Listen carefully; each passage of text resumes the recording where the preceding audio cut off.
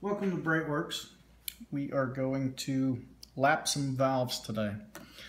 Relatively new valve. I've used a very soft uh, brush on a bench grinder to take off any of the uh, exhaust deposits, the carbon. And what we're trying to do is mate this sealing surface with our insert. Right, so we're going to get this thing to uh, Uh, seat very nicely and therefore create a good seal. So we're going to put a little bit of this, they call it valve grinding material.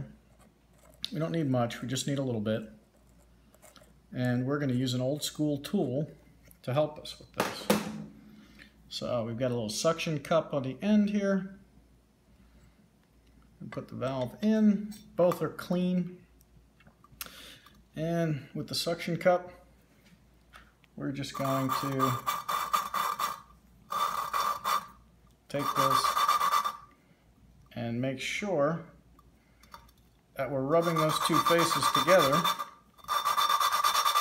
And the compound that's in there is about the equivalent of, I think, 200 grit. So normally when I'm not trying to get my hands in the middle of the picture, it's a little bit easier. You can go a little bit faster you can actually hear the change in sound of the material as it starts to wear together. Sounds very coarse right there.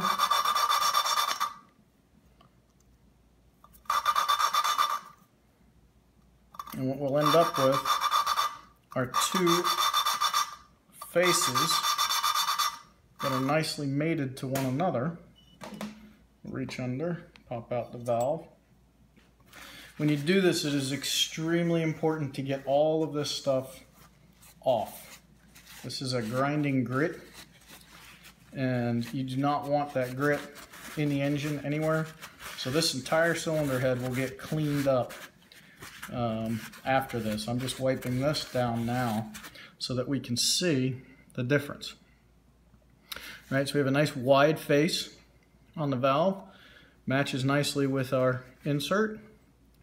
So valve seat, valve sit very nicely together and will seal for many, many miles to come. So quick little demonstration of valve lapping. Visit us at breitwerks.com.